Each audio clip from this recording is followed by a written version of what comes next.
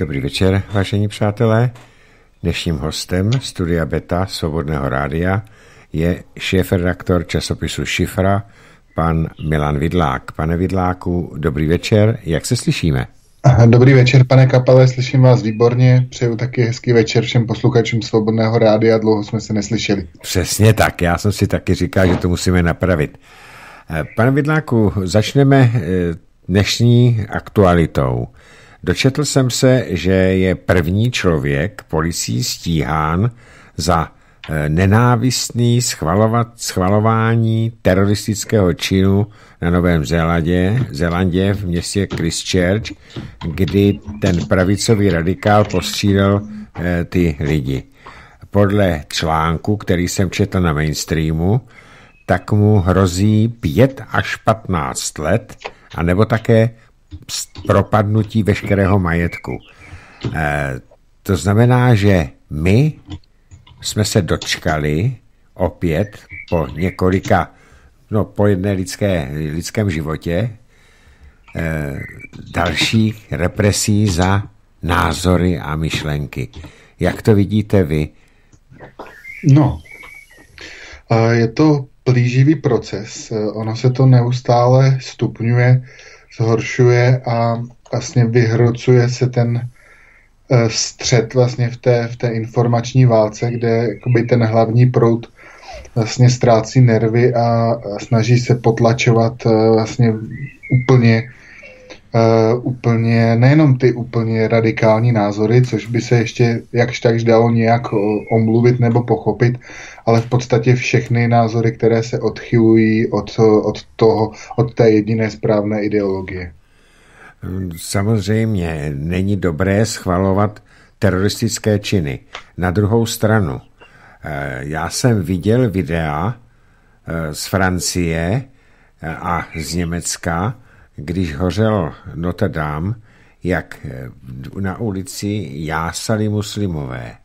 Eh, to znamená, že pokud budou eh, lidé, tedy já řeknu křesťanské, křesťanského ne vyznání, ale spíš zaměření, tak jsou trestáni za, za myšlenku, protože to není navádění k terorismu to není nic, co by bylo podle starého trestního zákona trestné, protože myšlenky se nesměly nebo ne, neměly by se trestat. Ale tady to je na nás byč, kdežto z té druhé strany to není vůbec žádným způsobem postižené. Tak kam se to dostáváme? Do 30. let? Pane Kapale, v tom, je, v, tom, v, tom, v tom je rozdíl, protože zatímco vy, když jste sledoval ta uh, videa uh, té oslavy vlastně toho uh, vyhořelého kostela, tak to, to byly zcela určitě um, falešné, falešné videa nebo falešné příspěvky, kdežto ten, kdo schvaluje ten Nový Zéland, tak to nebyly falešné, to bylo, to bylo pravé.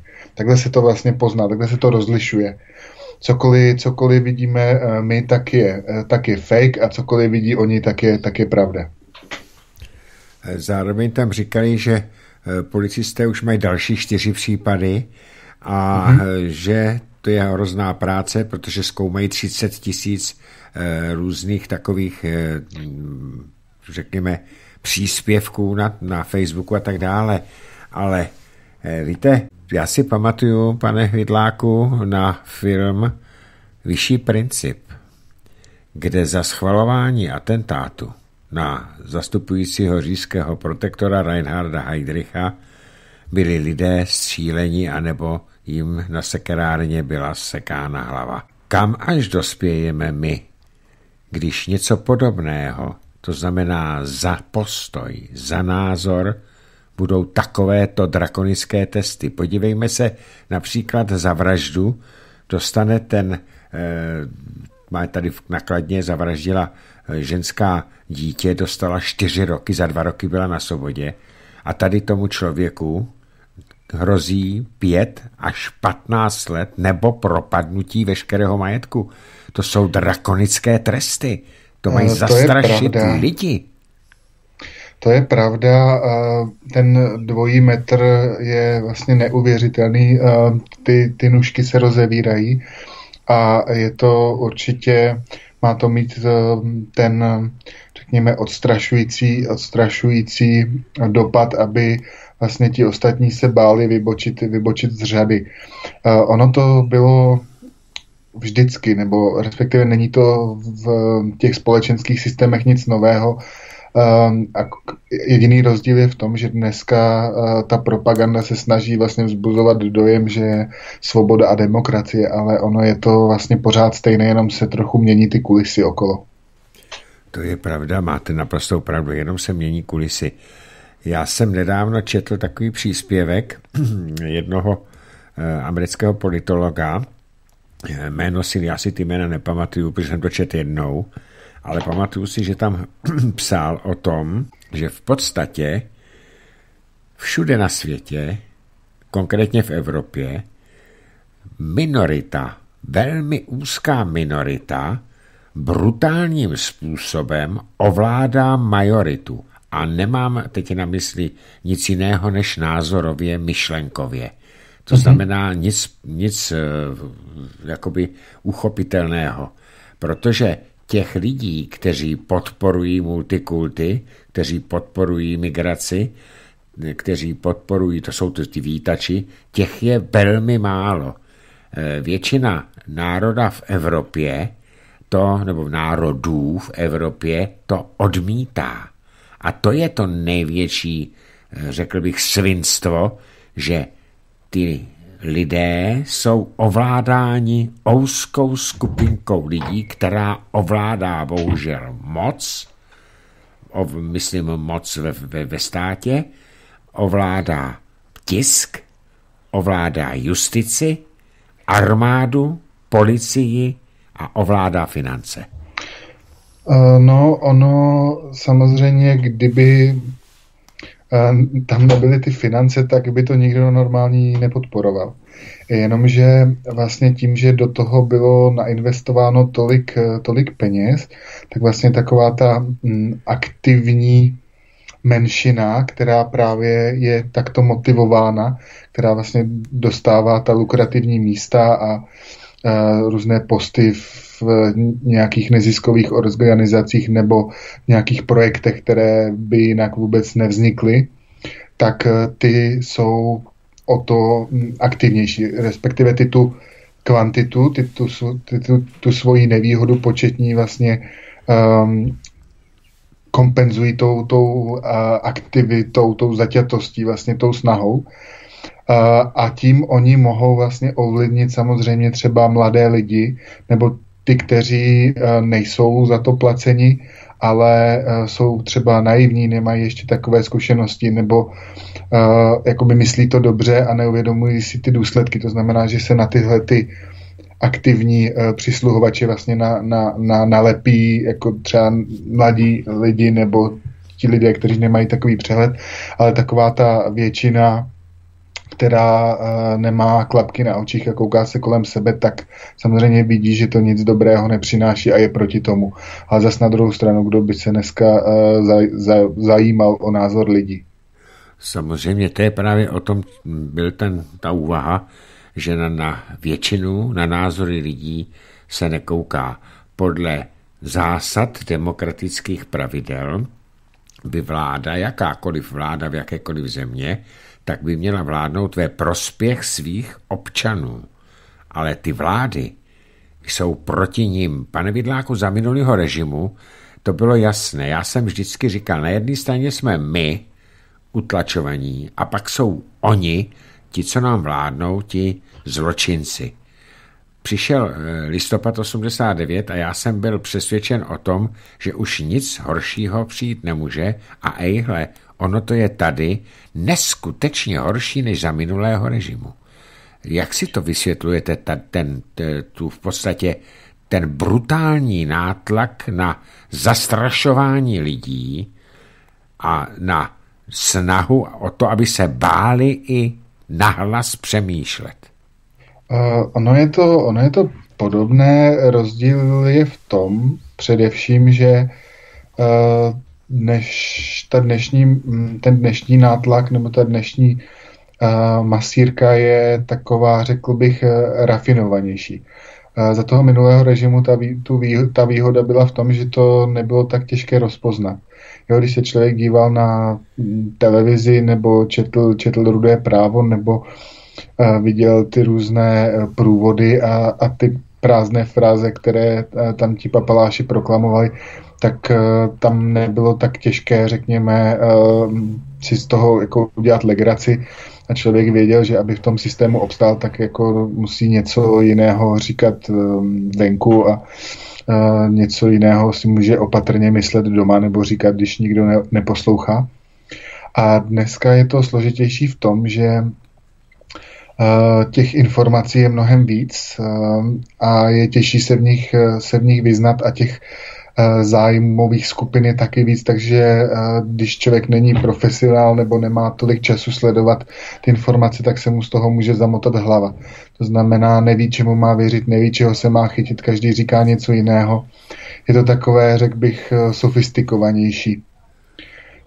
Ta, ty, mm, řekněme, mm, falešné autority, to je jedna z těch manipulačních technik, jsou také vlastně používány v tom, že se vybírají lidé, kteří mají třeba tituly vzdělání, jsou v těch eh, vedoucích funkcích, kteří mají vlastně říkat lidem, co si mají myslet.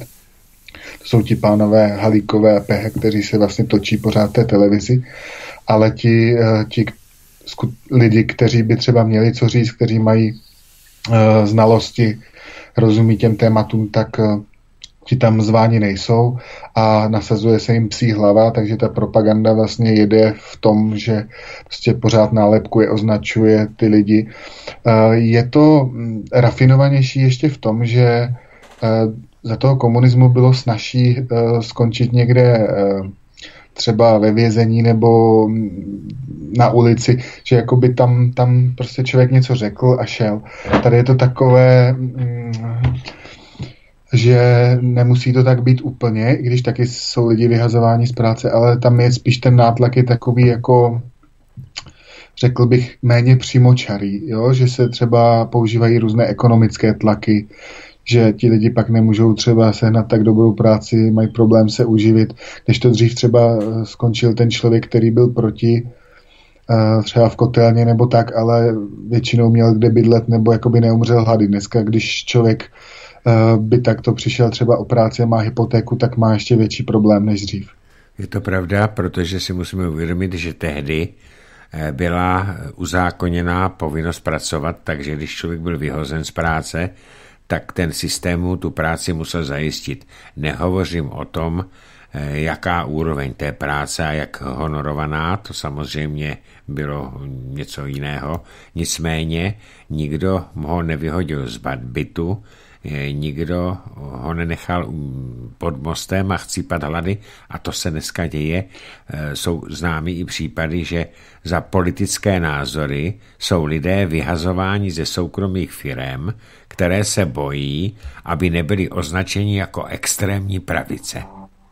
Ano, a ještě bych možná ten rozdíl viděl v tom, že uh, samozřejmě dřív, když to člověk trošku přehnal, tak uh, mohl skončit třeba eh, v Jáchymově nebo v nějakém tom technickém praporu někde v kamenolomu. To se třeba stalo mému, mému dědovi, uh, takže to jako nebylo moc, moc příjemné, ale dneska já jsem mluvil o té sofistikovanosti.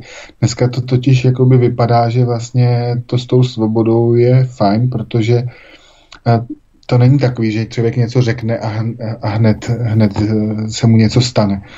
Jo, ale my, my si tady takhle můžeme povídat, to bychom dřív nemohli, za to minulého režimu to by nás takhle jako nepustili, že jo. Ale, eh, ale jako tady to se děje vlastně tam jakoby v zákulisí, tam, tam, tam se používají že jo, ty různé centra pro hybridní hrozby a ty, ti jandové a vlastně eh, dělá se ten společenské, to společenské znemožnění, to, to, to nálepkování. Eh, děje se to i v rámci třeba rodin, že se lidi bojí říct svůj názor, protože když není dostatečně korektní, tak ne každý má tu psychiku tak silnou, aby dokázal snášet nějaké útoky v médiích nebo na internetu nebo v pracovním kolektivu, tak právě spousta lidí si to taky radši nechává pro sebe.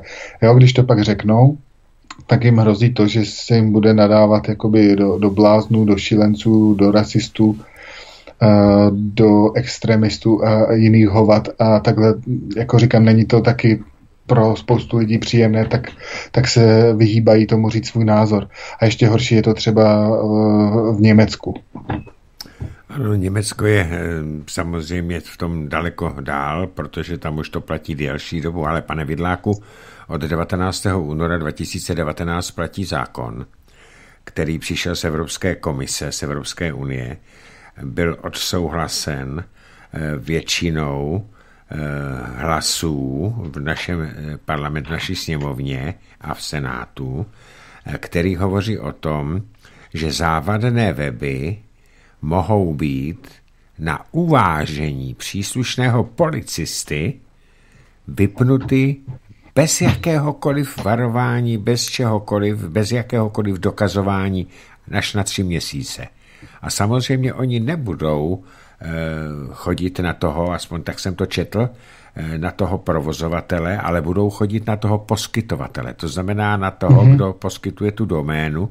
No a tam jsou ohromné pokuty Eh, milionové, no takže tímto způsobem se může klidně stát, že ty závadné weby, které zatím ještě fungují, tak budou na tři měsíce vypnuty bez pardonu na, na, prosím vás, na rozhodnutí jednoho jediného policajta. A teprve v, v době tří měsíců se bude zkoumat, jestli ten web je a nebo není závadný, tak kde to jsme? No, jak říkám, eh, je to, já bych to přirovnal k tomu, eh, jakože třeba za toho minulého režimu, to je situace, kdy prostě eh, vy něco řeknete, někdo přijde a, a hned vám ji flákne, takže prostě ta reakce je okamžitá. A dneska je to tak, že vy něco řeknete, navenek všechno je v pořádku, ale vlastně ten vám, ten, ten protivník vám vlastně škodí za zády a dělá různé takovéhle vlastně lsti, které jakoby nejsou vidět. To znamená, děje se to všechno, eh, všechno v zákulisí, takže je to takové prostě, ten, ten způsob je jiný, ale princip podobný. Princip je stejný, já bych řekl. No, nebo Navíc, stejný.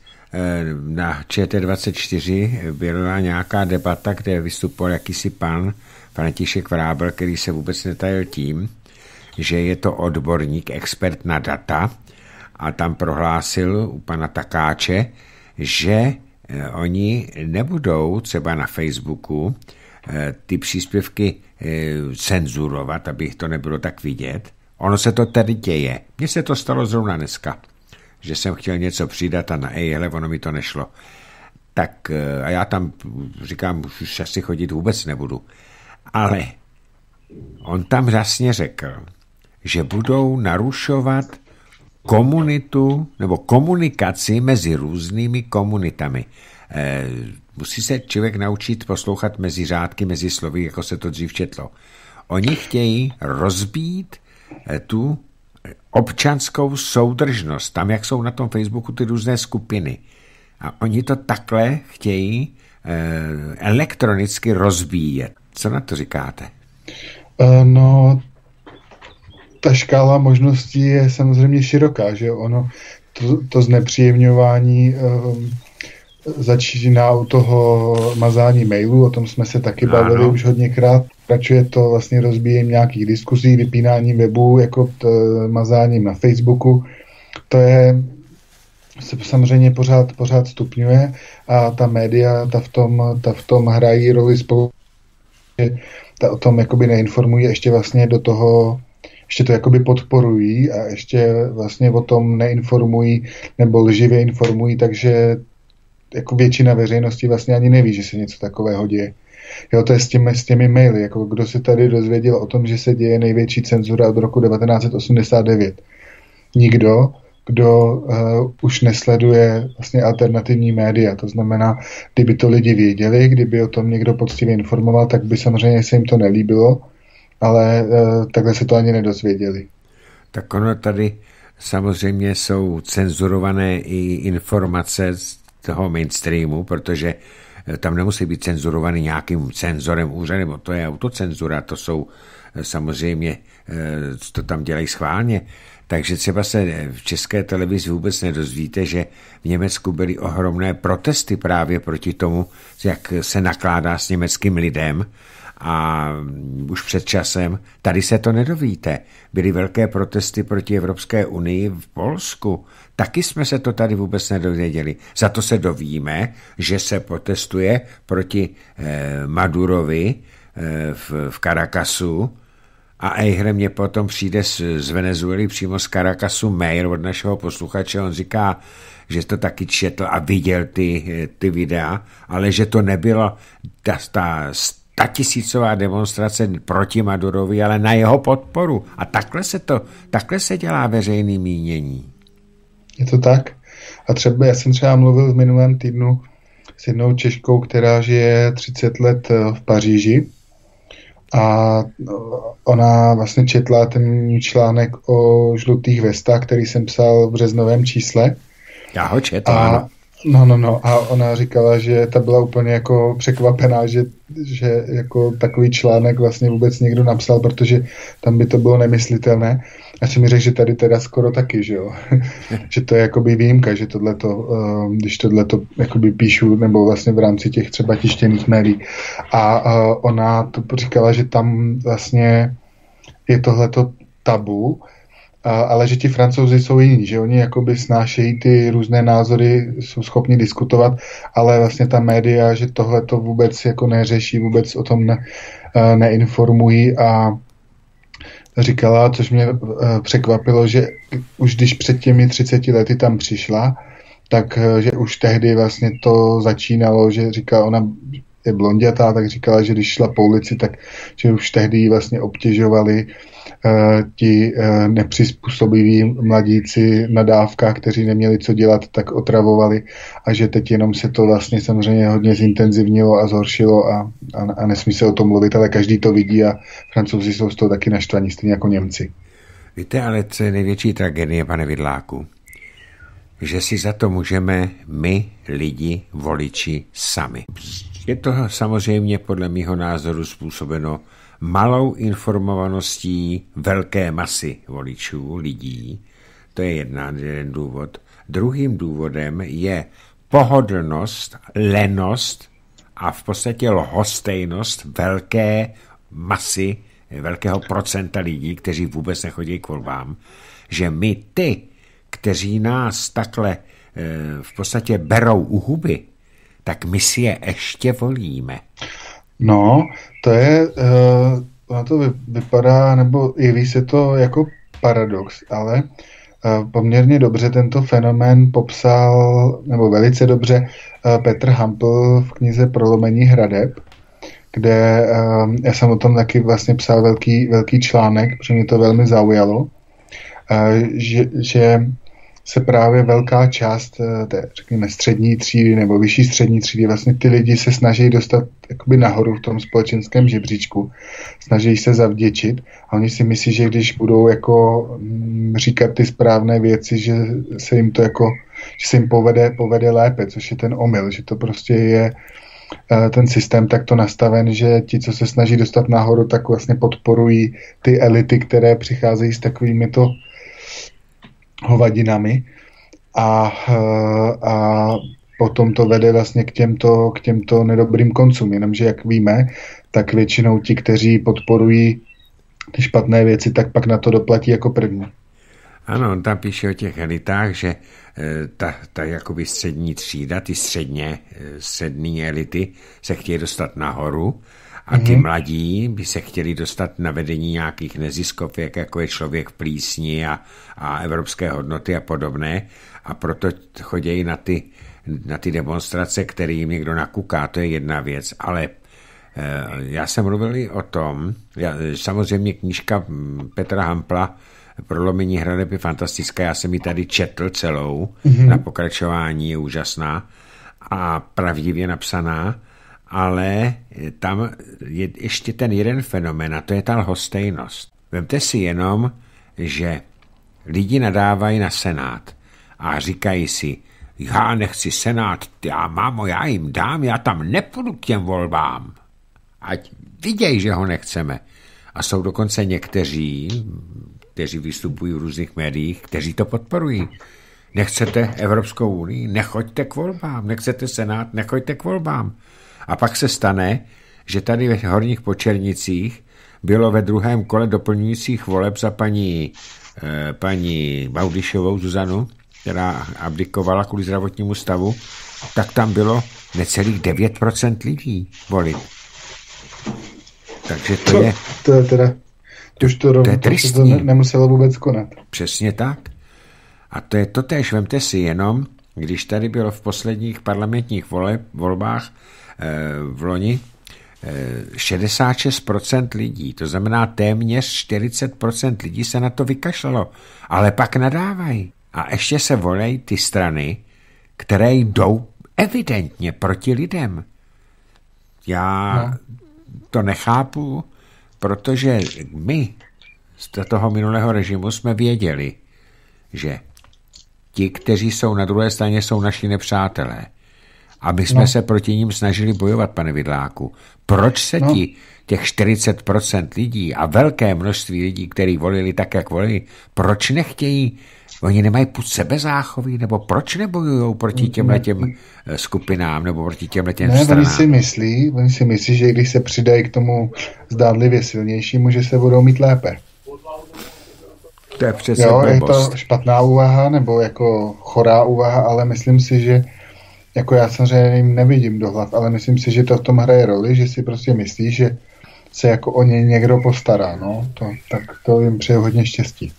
Víte, eh, já když se bavím se svými spolužáky a vrstevníky, tak oni mi říkají, že se na to v 70 letech nevykašleš.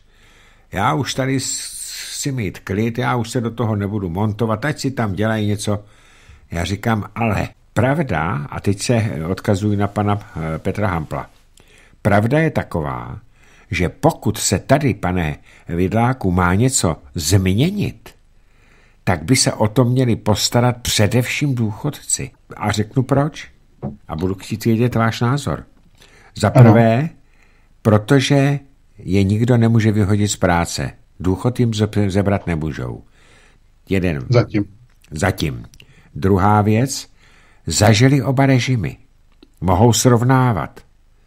A třetí, nemají nebo mají dospělé děti a nemají, jsou málo vydíratelní. Takže Petr Hampl se domnívá, že ta zásadní změna buď přijde do deseti let a tudíž by se měli co nejvíce angažovat ti důchodci, ne pro sebe, ale právě z těch důvodů, které uváděl, a pro své děti, vnuky, pravnuky a tak dál. Jak to vidíte vy? No, samozřejmě oni jsou v lepší pozici, pokud teda jsou třeba, já nevím, uh, oba, třeba jakoby manžele a mají třeba svoje bydlení nebo nebydlí někde ve velkém městě, protože když pak ten důchodce zůstane sám a má nějaký uh, neúplně vysoký důchod, tak uh, to ani nestačí na přežití skoro.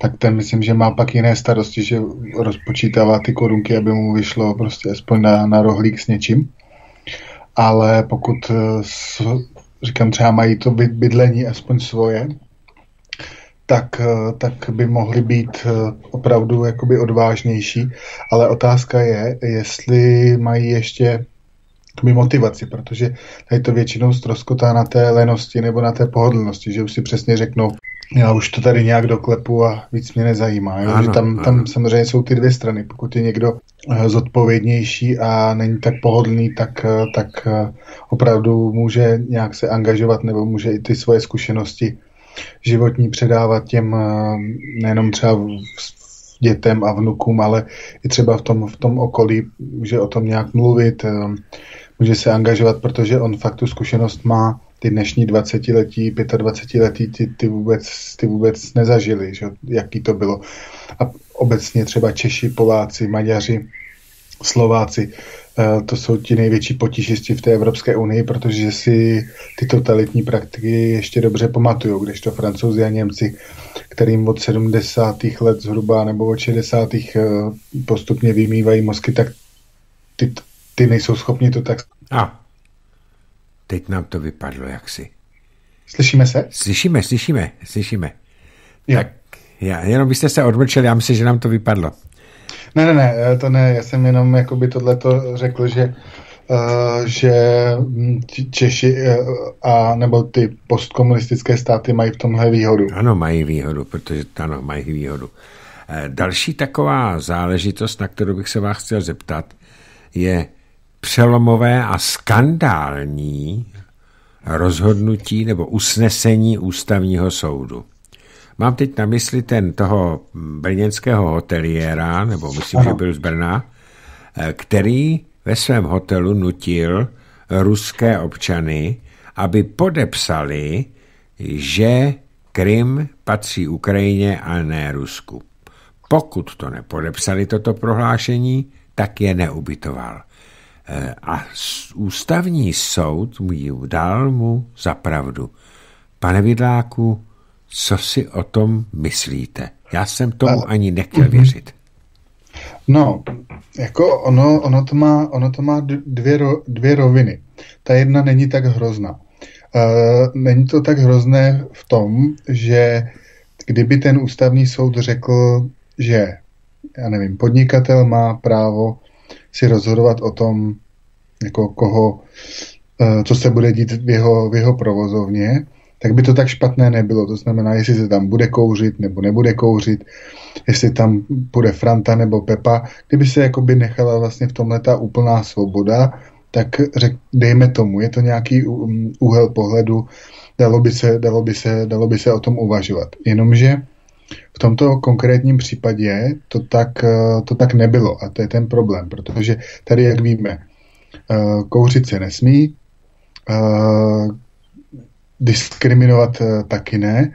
A tady to vypadá na zase vlastně jedí, případ toho, toho, toho dvojího metru, respektive tady se to jakoby hodilo a vypadá to na politické rozhodnutí, protože ten ústavní soud v tom rozsudku to zdůvodňoval tím, že uh, úplně absurdně, že uh, pokud jde o státní příslušnost, tak uh, na základě té státní příslušnosti ten hotelier takto jednat může, nebo nějaký jiný podnikatel, ale že kdyby šlo o uh, náboženství nebo rasu, tak nemůže. Jo, to je úplná hovadina. To, tak jsem Přeložme to do češtiny. Já, Pokud se jedná o Rusy, tak je vše dovoleno. No. Pokud se jedná o někoho jiného, tak je vše zakázáno. Dá se, dá se to tak říct. Já teďka zrovna o tom chystám právě velký článek do do červnové, eh, do červnové šifry a já tam právě jako by mě napadl takový příklad, jako jak by asi podle tohohle toho zdůvodnění se rozhodovalo, kdyby někdo odmítl ubytovat muslima ze Saudské Arábie. Tak kdyby to zdůvodnil tím, že je ze Saudské Arábie, a Saudská Arábie podporuje třeba uh, zabíjení uh, v Jemenu nebo byla zapletena v různých teroristických útocích a financuje ty různé skupiny jako islámský stát a Al-Qaida a tak dále, tak by to podle tohoto zdůvodnění mělo být v pořádku. Ale pokud by uh, řekl, že to je protože je jakoby muslim a muslimové dělají třeba to a to v těch evropských státech, tak už by to jako bylo zakázané, to přece nemá logiku. Je to tak?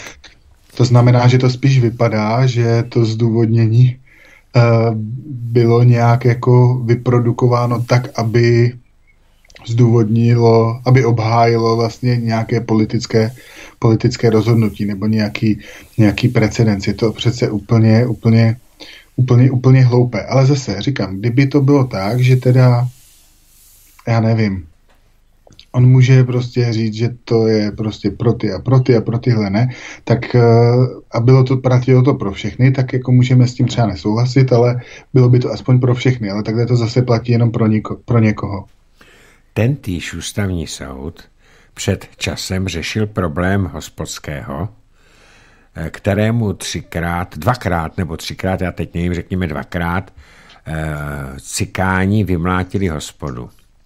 A on, potom, co mu po, po druhé zničili tu hospodu, samozřejmě mu to nikdo nezaplatil, to si musel zaplatit sám, tu, tu obnovu, tak je tam přestal pouštět.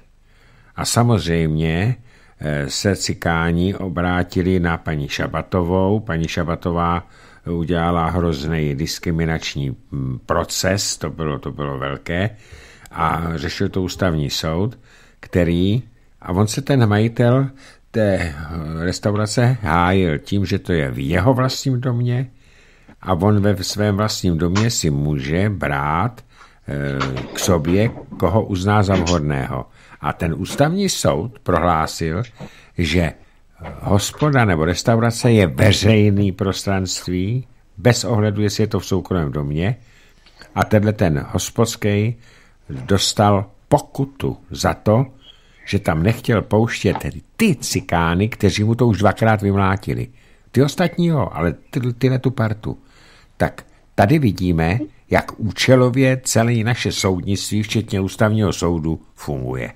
Ano, protože kdyby on, kdyby on třeba v tom svém rozčilení uh, řekl, že tam prostě uh, nepustí nikdy nikoho, kdo je jenom třeba trochu víc opálený, že by to jako by udělal plošně, tak by to jako mohl být problém, protože zase jako by tam šel někdo, prostě měl by, měl by žízeň a nepustili by ho tam jenom protože se narodil nějak, tak uh, tam bych ještě pochopil, kdyby to bylo, ale když on vyloženě to měl zaměřené proti té partičce, tak je jako dost zoufalé, že mu jako znemožní jim tam, je tam nepustit. Jo, naproti tomu On, to, uh, on se hájil, že to není rasismus. Ano, že ostatní, ty no, cikáni, že tam chodit můžou. Jenom tahle parta. A no. přesto dostal pokutu, tehdy asi 50 tisíc korun, a ústavní soud mu nařídil, že tam musí pustit každýho. Takže on to potom, že jak to potom řešil, nevím, to už jsem se nezajímal, ale tady vidíme ten dvojí metr, pane Vidláku. No, je to, je to tak a je to vlastně ve všem. A teď jsem si ještě vzpomněl, že my jsme tady vlastně mluvili o, o knize Petra Hampla, tak eh, ten měl mít eh, včera diskusi nebo besedu v Brněnské knihovně. Ano, Máhenově. V Břeskách. A vlastně den předtím mu to zrušili, protože nějaký studentík eh, z Masarykovy univerzity si stěžoval, že se mu to nelíbí a ta knihovna okamžitě to zrušila. Ano, vím o tom, bavili jsme se o tom včera. Eh, včera jsme se o tom bavili s panem Konvičkou, Martinem, mm-hmm. protože on je kamarád Petra Hampla, takže o tom hovořili. A představte si, že já jsem potom četl od Petra Hampla vyjádření, On, tenhle ten studentík, aniž by věděl jednu knihu, kterou pan Hampl napsal, aniž by věděl, eh, co všechno dělá, tak ho označil za rasistu, neonacistu a antisemitu.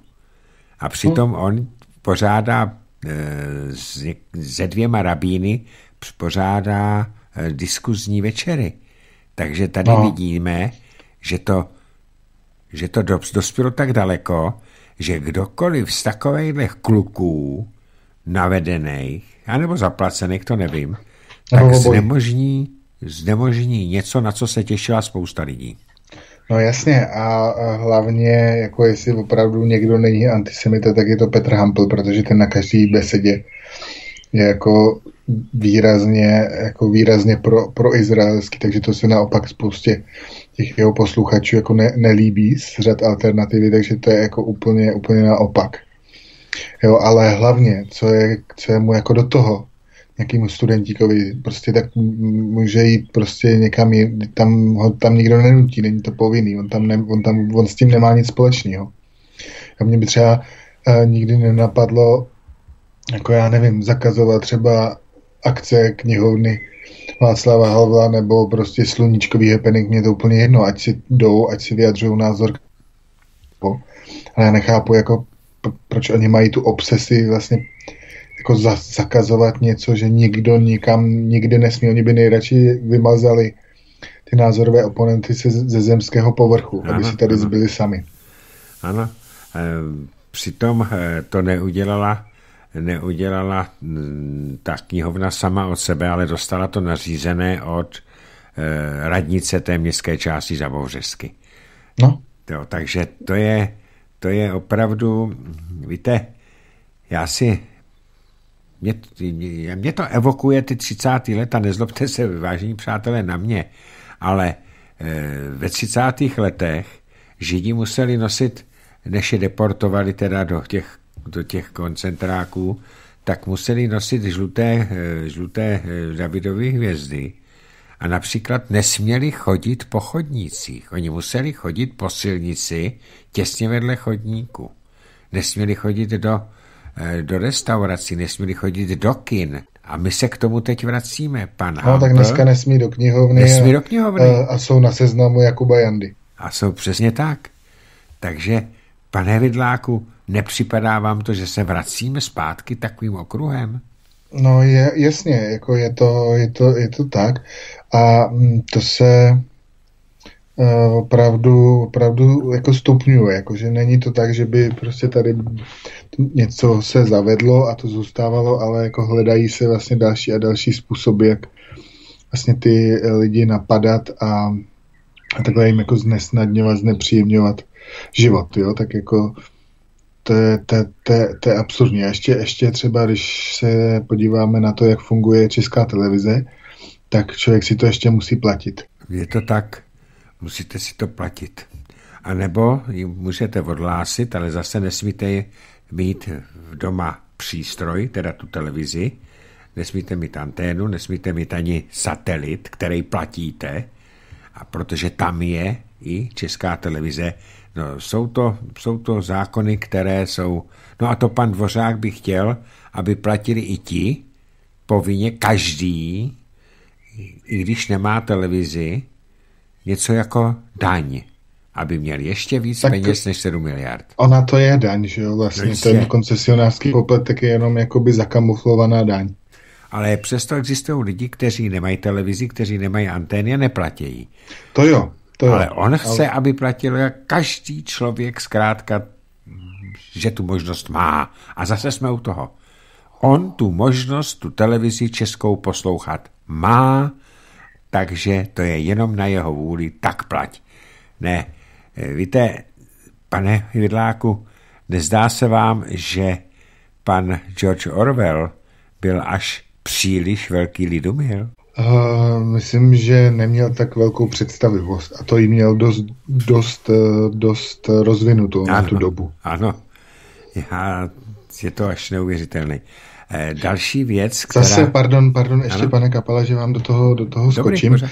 Zase na druhou stranu, jako ono to, ono to má vlastně jistou logiku, to, co se děje, protože uh, oni kdyby tohle to jakoby nedělali a kdyby takhle jako nepronásledovali, nepotlačovali ty rozdílné názory, tak uh, by se prostě mnohem rychleji jako ukázalo, že císař je nahý a oni samozřejmě jakoby mají hodně co, hodně co skrývat, hodně co, hodně co kamuflovat, protože ono to není jen tak, jo, teď si vemte, v jaký jsou situaci, jako já jim to nezávidím, třeba v té české televizi, oni tady 20 let prostě něco říkají. A teď jako kdyby nechali argumentovat někoho, kdo prostě úplně snadno to rozstupuje a prostě s úsměvem na rtech jako odhalí jejich divákům, že to všechno je jinak, no tak prostě to se zbortí strašně rychle, že oni se to snaží nějak jakoby prodloužit, udržet, ale jak říká Antonín Baudiš, se kterým jsem dělal teďka v Dubnu skvělý rozhovor v šifře, takže ta pravda je jako tráva, která vlastně si najde cestičku i přes beton. Ano, najde si cestičku, pokud někdo neveme Roundup. to, to, je, to je pravda.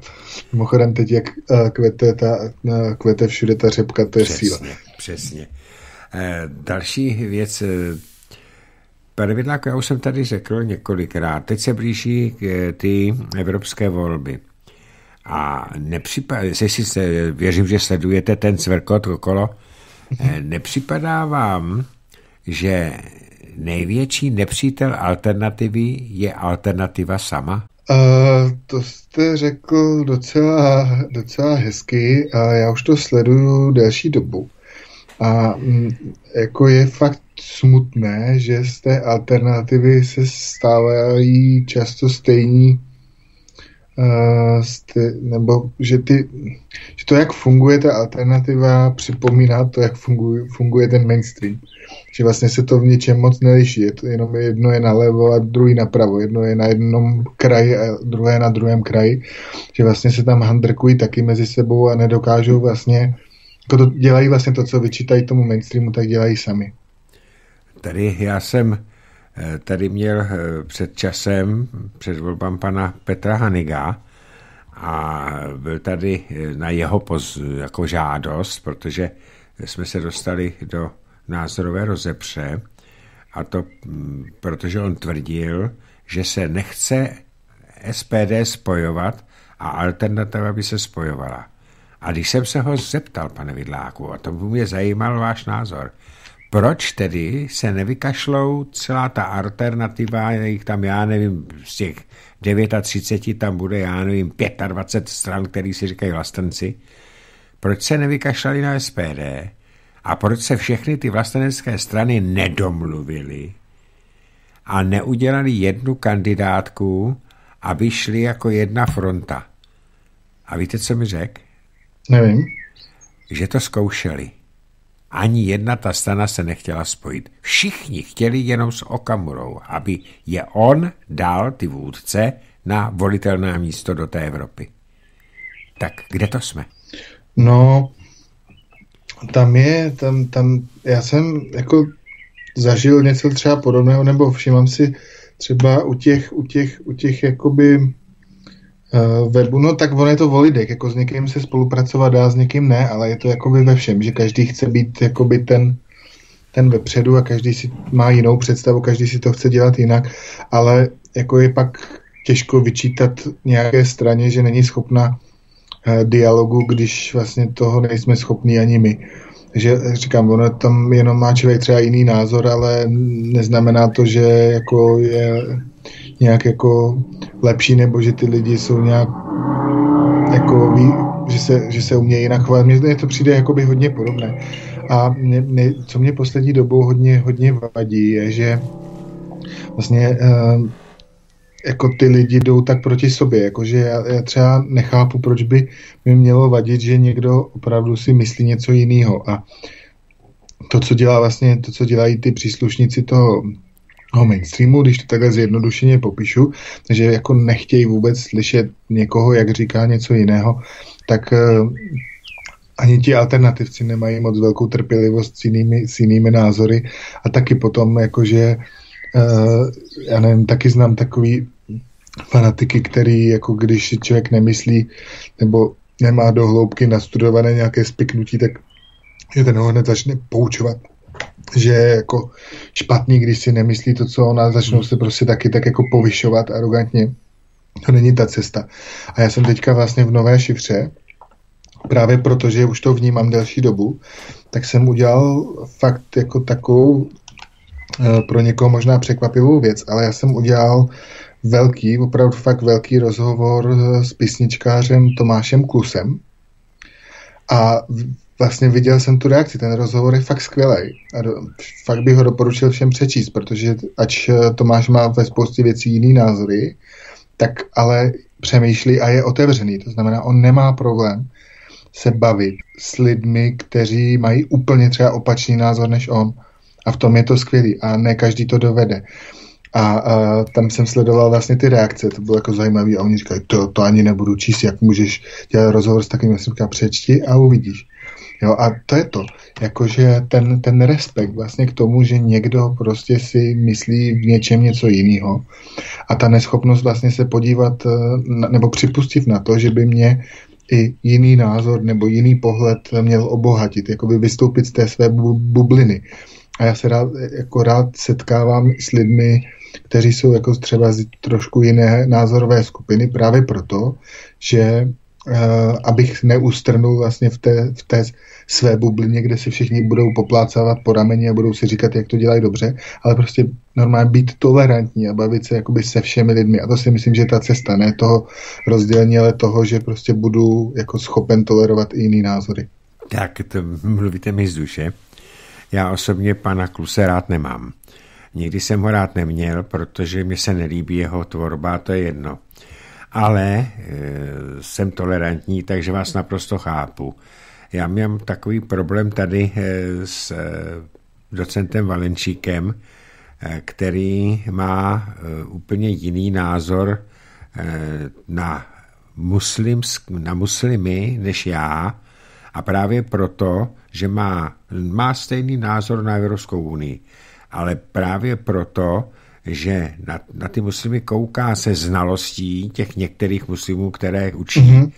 tak eh, to vyvolalo tak bouřlivou reakci, dokonce, že mi napsali 13 eh, posluchačů petici s tím, že pan docent Valenčík u mě nesmí vystupovat a když bude vystupovat, takže musí změnit názor a musí se za ten názor na ty muslimy omluvit. No. A to je síla, ale. A ano, 13 a poslali mi petici a ještě naps, arrogantně napsali, že žádají, abych tu jejich petici přečetl v tom mém pořadu pondělním. No tak jsem to přečetl. Ale zároveň jsem řekl, že to, co udělali, tak naprosto neakceptuju a tím pádem pro mě tito lidé skončili, protože aby 13 lidí, nás poslouchají desetitisíce lidí, a 13 lidí mi napíše, že jsou veřejnost, Tady vidíte aspoň tu netoleranci.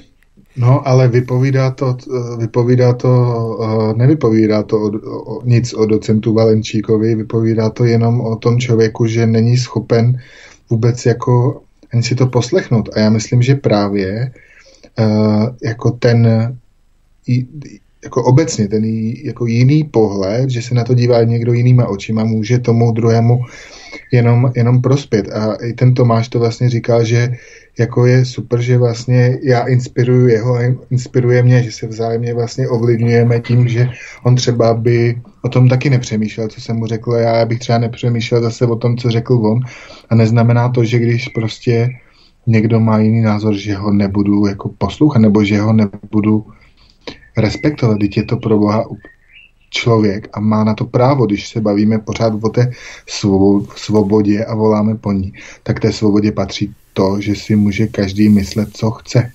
To za prvé a za druhé, eh, já mám eh, docenta Valenčíka rád kvůli jeho analytickému myšlení, on je matematik.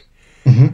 A on má perfektní analýzy a mě vůbec nevadí, že má jiný názor na uh, muslimy, ale abychom to uvedli na správnou víru, on, neho, on neobhajoval islám. On jenom tvrdil, že ti muslimové, kteří sem jdou, a černoši samozřejmě z Afriky, kteří sem jdou jenom proto, aby nás tady dobili a měli se dobře za naše peníze, takže tady nemají co dělat. S tím souhlasí ale ne, říká, že nemůžeme všechny muslimy házet do jednoho pytle. A už to, panečku, no. byla revoluce. Ale... Ono se to děje na obou stranách, bohužel. Jakoby, že to, co vlastně my tady v té první části pořadu jsme jakoby kritizovali a popisovali, to tak ono se to nevyhýbá bohužel ani vlastně té alternativně, která vlastně by měla být svobodná, nebo by měla stát na té straně svobody, ale jak se do toho tahají ty emoce a ta zaťatost, vlastně ta bojovnost, tak eh, to prostě ne, ne, ne, nevede jako k ničemu, k ničemu pozitivnímu. Ale jako by opravdu mě to překvapuje a poslední dobou taky o tom hodně píšu, protože jako se to taky vlastně stupňuje i na téhle té straně, že se vlastně kádruje, kdo je jako ano. Kdo je jako dostatečně to, jako já to, já to, já to vím, protože já se právě vědomě snažím jakoby směřovat k té, uh, k tomu, k takovému sklidnění nebo k té, k té neutralitě, že prostě jako nechci prohlubovat ty příkopy, že budu jakoby agresivní a teď to budu jakoby rozdmíchávat, ale naopak říct jako neblbněte, jako dítě, dítě, dítě tohle, tohle není ta cesta. A teď jako to sleduju, že jako pro jedny jsem jako moc alternativní, pro jedny málo alternativní, ale to je, takhle to prostě nestojí, to není jako černý nebo bílý. To je prostě o tom, že jsme všichni lidi a, a můžeme se prostě kritizovat, můžeme argumentovat, můžeme spolu nesouhlasit, ale jako vůbec jako nepřipustit ty názory a neposlouchat to, to, to jako to, dělá, to, ne, to, nejde. To, to dělají mítači, sluníčkáři. Ano. A my to kritizujeme a pak, pak s, mezi náma jsou stejní lidé. Na druhou stranu, pane Vidláku, mm-hmm. poslední otázka, to docela závažná. Eh, my všichni, aspoň já, tady brojím už pět let eh, proti nebezpečí zničení té západní civilizace. A tady si myslím, že by měli stát všichni v jednom šiku, protože mě je úplně jedno, jestli ten jeden je, ten, je ze strany támleté, ten je ten z druhé strany, ale tady se nám jedná stejně tak jako před pádem říše římské, tak se nám jedná o bytí a nebytí. A my bychom měli stát v jednom šiku a měli bychom vymést eh, z těch míst, eh, ne nahoře, volbami, ty, kteří nás tam tahnou. A to se tady neděje.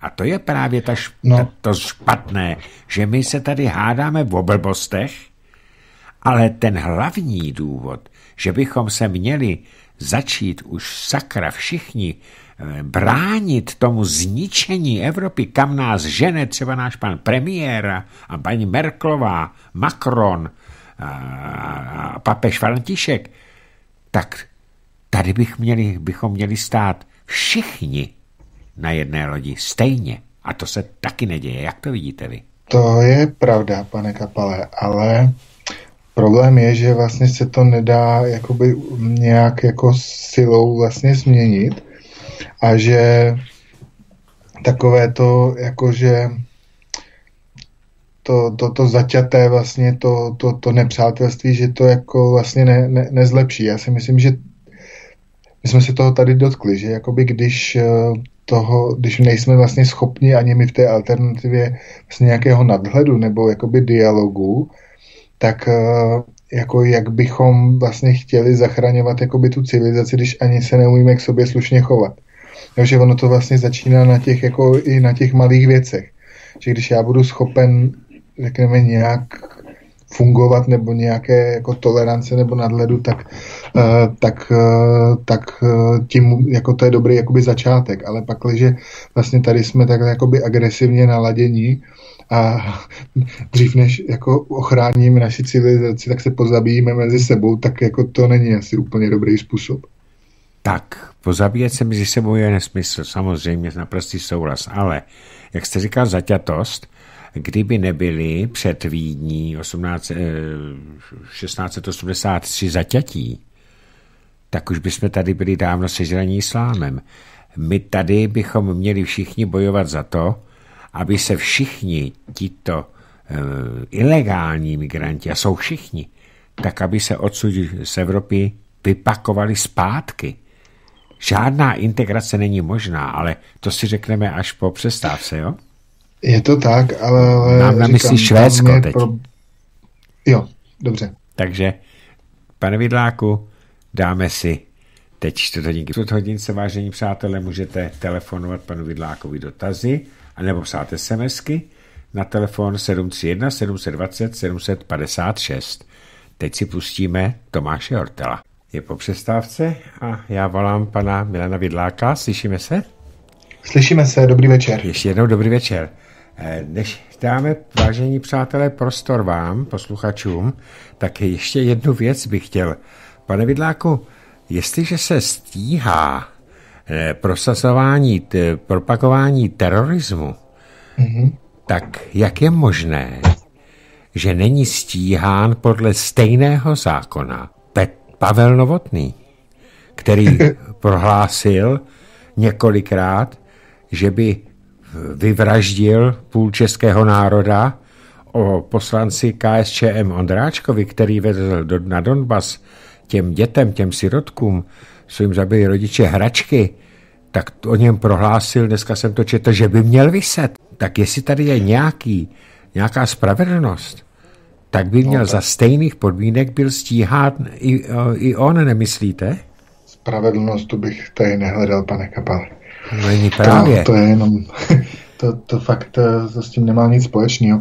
Navíc, když se třeba podíváte i na takového mm, mediálně propíraného člověka v tísni, tak ten přece taky pomáhá jenom těm správným lidem. Ano. Jenom těm správně, správně barevným.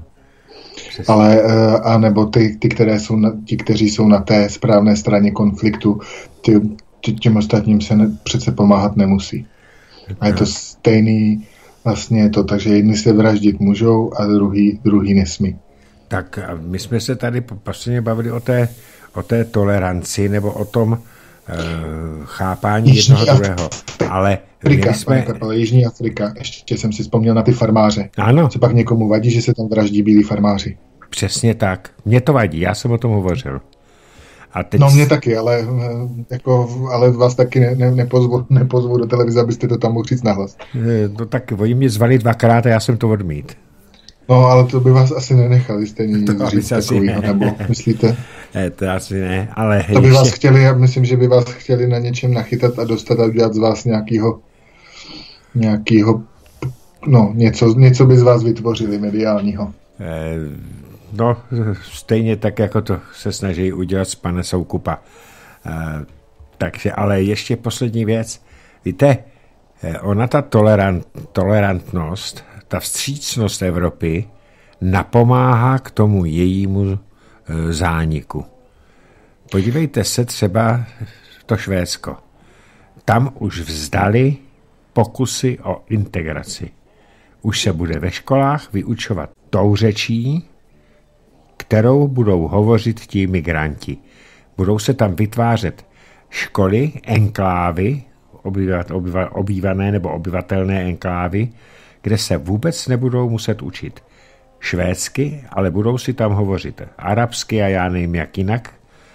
A to je známka slabosti Evropy. A to už ani není vstřícnost, to už, to už je demence. To je, de, ano. A já jsem právě toho názoru, a o tom jsem hovořil, že ta, ta tolerantnost nás vede do záhuby. Tito lidé, ti tolerantní nejsou. Já teda nevím, kdyby někdo šel a pobodal nějakého, nějakého uh, muslima s výkřikem, uh, ať žije ať žije Ježíš Kristus. Tak máme telefonát, já ho teda vemu teď. Tak, dobrý večer. Dobrý večer. Stíšte si rádio, prosím. Ano. Ať žije Ježíš Kristus. Tak, až si stišíte rádio, tak můžete hovořit. Teď my si slyšíme v rádiu. Ano. Tak, hovořte. zdravím vás, pane Ka- Kapale, a zdravím vás vašeho Pana Vidláka. Vaš, pana Vidláka a zdravím všechny, všechny posluchače Svobodného rádia. E, otázka je jako voják, který u nás, který byl odsouzen, už byl odsouzen za to, že mm, se zúčastnil nějakých akcí e, na Ukrajině, tak e, byl degradovaný, má podmínku a je prostě dehonestovaný. Proč teda není, nebyli i, i naši bývalí komunističtí vojáci, e, generálové nebo jiní vojáci degradovaní, ale byli povyšovaní. Za co? No, já jsem, za co, já nevím, no. Ale kdy? V kterém době? No, po převratu a najednou třeba jsou generálové a v, v EU. Jo, myslíte ti, kteří sloužili ještě za minulého režimu a sloužili ano. teď, ano. No protože tady jo, je druhý... pardon, já jsem se nepředstavil, Václav, eh, z Plzně. Já vím. Takže ano, protože je to ten dvojí, dvojí metr, že jo, pane Vidláku? No, jednak dvojí metr a jednak uh, t- jednak tady žádný jako úplně, jak, jako to, jak se tomu říká revoluce, tak to tady vlastně ani ve skutečnosti neproběhlo. To bylo jenom jako koordinované vlastně předání moci s tím, že u moci zůstaly vlastně stejný, stejný pod, nebo podobné skupiny, jenom vlastně nebyly už tak vidět a skončily jakoby v zákulisí, že už na ně nebylo tak vidět. Já jsem potom teďka dělal v březnu, v březnové šifře vyšel velký rozhovor se Stanislavem Novotným, který byl v 90. letech policejním prezidentem. A tam vlastně to celé popsal, jak ty uh, nákladňáky s těmi, s těmi uh, dokumenty odjížděli už v roce 1988, že ten převrat byl celý plánovaný. To znamená, ti skuteční jako ty lidé, vlastně, na, o kterých by bylo zajímavé vědět, co dělají předtím, tak o těch se to samozřejmě už nikdy nedo, nedozvíme, takže ono to jako až tak vlastně překvapivé, překvapivé podle mě, podle mě není. Jo, že tady vlastně k tomu to nebyl nějaký jakoby, převrat, protože žádná, jako logicky, žádná moc byste jí nevzdala jakoby dobrovolně, když měla pod kontrolou třeba celou, celé, celé ozbrojené složky. Prostě ta, ta se toho vzdala jenom proto, že to udělat chtěla. Přesně no, tak. To máte pravdu, ale já pořád nechápu to, jak můžu odsoudit někoho, kdo nebyl v armádě, zažádal si o vstup do armády, byl teda někde, někde něco dělal, to, zažádal si o vstup do armády, byl prověřený teda, bylo mu něco dan a zpětně se mu to hází na hlavu. Buď je to uh, nějaký, nějaká manipulace, ale jinak je toho to, člověka je to absolutně velice, odepsali. Je to velice jednoduché. On v naší ústavě, prosím, je klauzule, že nesmí česk, občan České republiky sloužit v cádné cizí armádě. A na, tento, na toto ustanovení oni ho dostali, protože on si tam, on tam jel soukromně, byl to desátník v povolání kuchař, a on tam jel, protože chtěl eh, to tam vidět a chtěl pomoct a pouštěl to na, na Facebook. A právě protože to pouštěl na ten Facebook, tak za to byl, za to byl v podstatě degradovaný a e, souzený a on vystoupil z té armády. Protože, ale tady je jiná otázka. Jak je to možné, že stejně tak nejsou stíhaní lidé, kteří se přiznali, že sloužili v, ve francouzské cizinecké legii a je jich tady dost. Jo? Ano. Takže tady dvojí aspoň metr. vidíme ten dvojí metr. Pane Václave, díky moc za názor. Taky díky, hezký večer. Taky, nashledanou. Nashledanou. Tak eh, já bych eh, tady jenom vypnul to zvonění, protože se mi to samo zaplo a jdu na otázky. Dobrý večer, pánové. Co myslíte, hrozí světová ekonomická krize zapříčiněná Kimem v Koreji? Že by třeba Rusové a Číňani byli nuceni vlétnout do Koreje a obsadit kde co, aby Kim neohrožoval Japonsko či obchodní trasy mezi Čínou a Evropou? Ptá se Bohumír Gruber z Brna. No, jako světová ekonomická krize nejenže hrozí, ta, ta, ta, ta je jistá, ta, ona je v podstatě permanentní, to se jenom jako uh, oddaluje různě a kamufluje, to je jako když prostě uh, přidáváte jenom steroidy a jednou, jednou musí dojít k nějakému uh, zadrhnutí nebo jako nějakému předávkování. Tam si myslím, že ta odpověď je jasná, ale nemyslím si, že dojde ke krizi vinou Kima nebo něčeho, protože to, jenom mně to přijde celou dobu, co se vždycky, uh, když se tahá ta severní Korea, že to je jenom takové nějaké divadílko na, na, na odvedení pozornosti, že to jsou takové nějaké hry a že, že to vlastně není úplně, to úplně není podstatný. Vlastně ta Korea to je taková jako jenom opravdu nějaká eh, nepodstatná hra, že to důležité se děje jinde. Je to, je to zastírací manévr. Ano, ano. A hlavní problém, který já se obávám, tak to je teď Irán. Eh, protože uh, no. pan Bolton to je ještě horší válečný štváč, než, než byl zesnulý senátor McCain. A senátor McCain tam už ze svého života křičel, že tam musí poslat Eh, Donald Trump 100 tisíc vojáků a podívejte se, eh, pan Bolton teď a Trump na to odkejval, že tam je připravených 120 tisíc vojáků. Tam já vidím problém. Pane Vidláku, nevidíte uh, tam problém? No, tam samozřejmě je, je problém a, a tady je vlastně zajímavé vidět, jak taková třeba Saudská Arábie, která vlastně páchá, nebo páchala dlouhodobě vlastně spoustu, spoustu uh, ošklivých věcí, lidská práva tam nikdy neexistoval, nikdy se nedodržovalo, nikomu to nevadilo.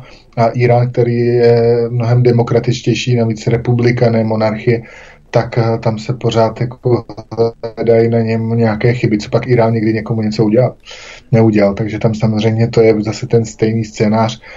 Eh, mimochodem Irán byl zmíněn už eh, ano, na dobytí, který tenkrát někde pronesl Wesley Clark, ten generál, který mimochodem velel taky válečným manévrům v Jugoslávii v 90. letech tak ten přece to provalil, že po teroristických útocích 11. září 2001, takže když byl v Pentagonu, že tam prostě zaznělo, že uh, vznikne plán na obsazení a tam byly vyjmenovaný Libie, Syrie, zemí, zemí, ano.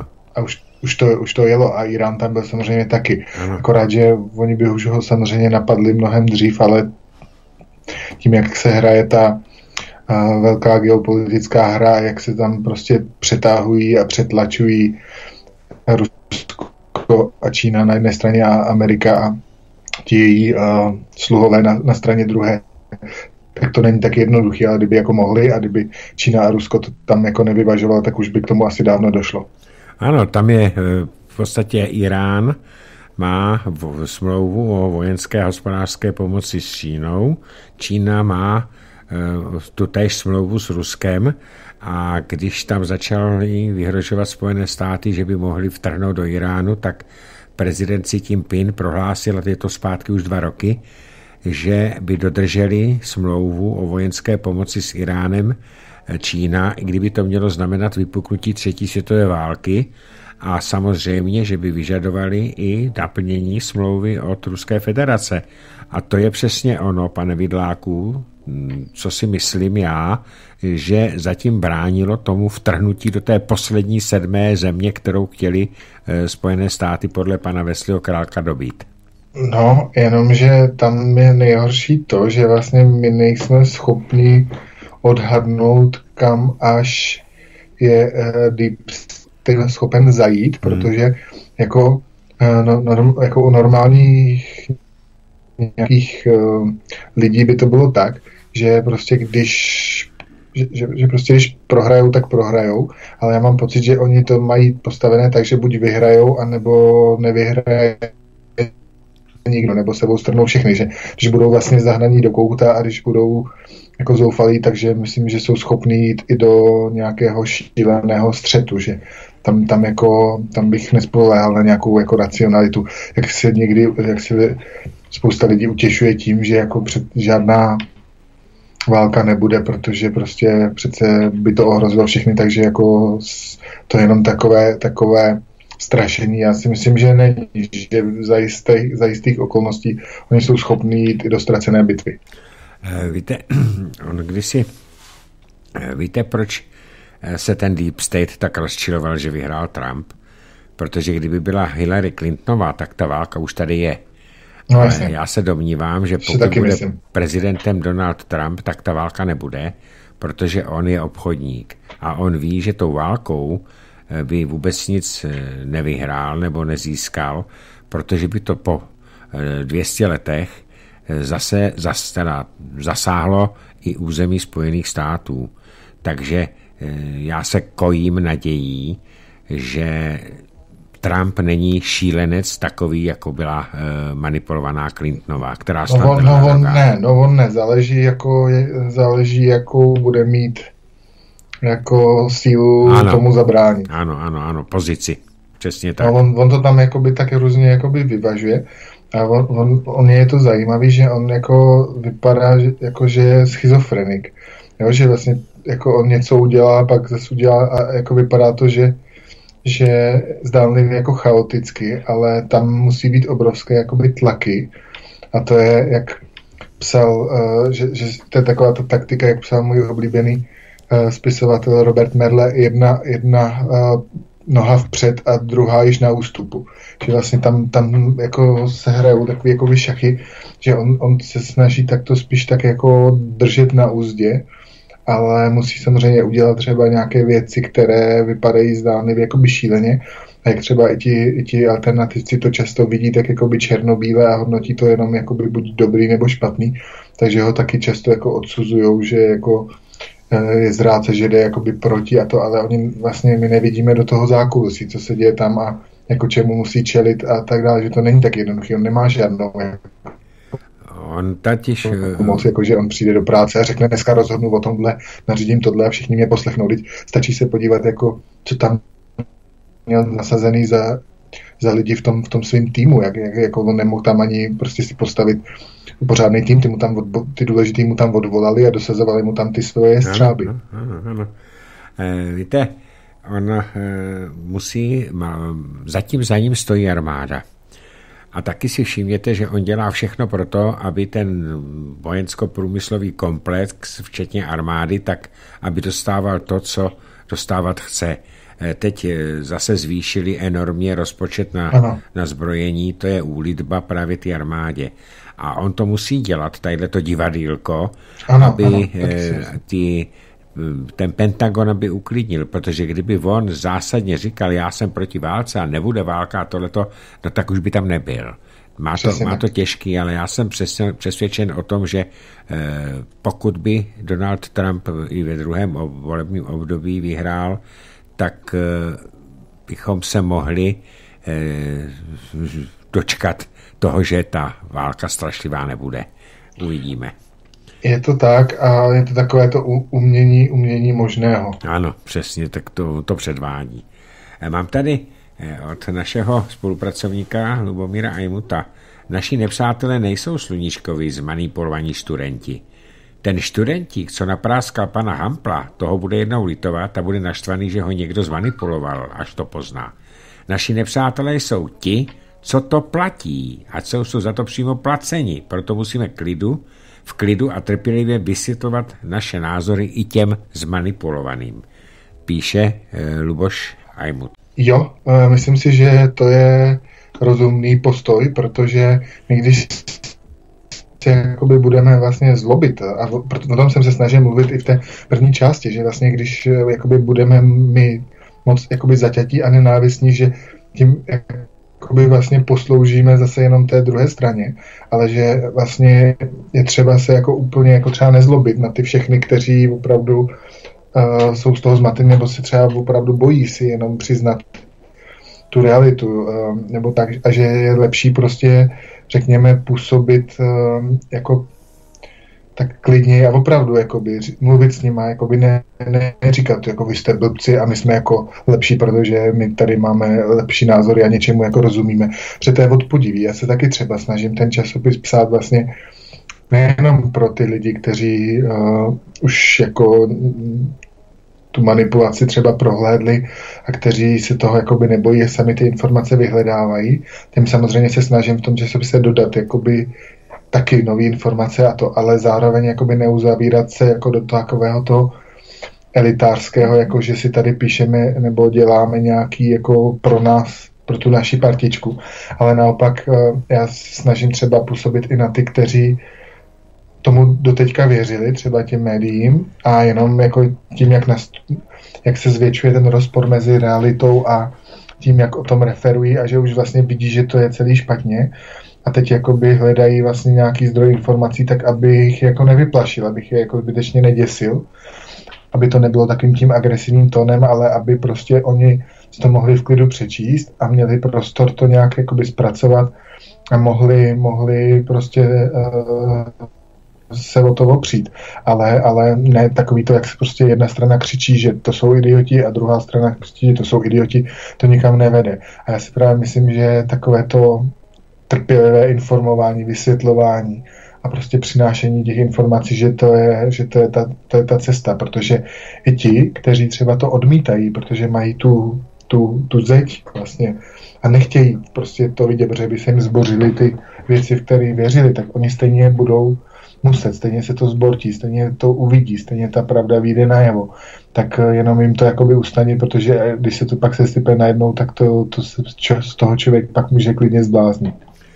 Ono je stále víc mladých lidí, kteří našli cestu ke svobodnému rádiu, stále víc lidí mi to píše, a eh, popisují i tu cestu, jak k tomu došlo. Ano. A proto je potřeba, aby se hovořilo s lidmi a mě se kolikrát lidi e, ptají a říkají, no já mluvím s lidmi a já mluvím s deseti lidmi a, a devět mě jich pošle do háje. Já říkám, to nevadí, ale ten jeden bude, z kterého otevřete oči, tak ten bude mluvit zase s dalšími deseti lidmi. A tak Přesně to chce a ti mladí nemají možnost se z toho dostat. Pak jsou tam někteří, kteří e, jsou právě podle Hampla ti, kteří se chtějí dostat do těch na ty pozice těch elit, chtějí v těch neziskovkách, když tam je hodně peněz, tak chtějí nic nedělat a mít peníze, no a s těmi nic neuděláme, ty už jsou, ty už jsou ztracení. To jo, ale je, ta, je, to, je to povzbudivé právě tak, jak říkáte, že taky, když, že mám tu zkušenost, že když třeba narazí nějaký mladý lidi třeba někde na šifru, na nějaký akci, ty to tam jakoby vidí a jsou překvapení, protože oni jakoby nevěděli, oni se pohybovali v prostředí, kde se nedostali k těmhle těm informacím. Jo, jsou nějaké prostě bublině, mají nějaké rodiče prostě a oni jako teď ve škole jim baví jakoby do hlavy ty věci. A teď oni si to prostě přečtou a řeknou, ty to jsem nevěděl, že něco takového je super a už zase jakoby vidí, vidí nějaké věci a už můžou o tom přemýšlet. Tam je potřeba prostě jenom ty informace dávat. A o tom tady máme uh, eh, sms od paní Marie. Vážený pane Vladimíra, pane Vidláku, naši lidé nejsou informováni. Oni koukají na českou televizi, kde se vůbec nic nedozví, jaké hrůzy se dějí v západních zemích, námi kdysi tak obdivovaných, píše paní Marie a má pravdu. Má pravdu. Přesně, o tom jsme teďka hovořili. Tak eh, tady další sms -ka.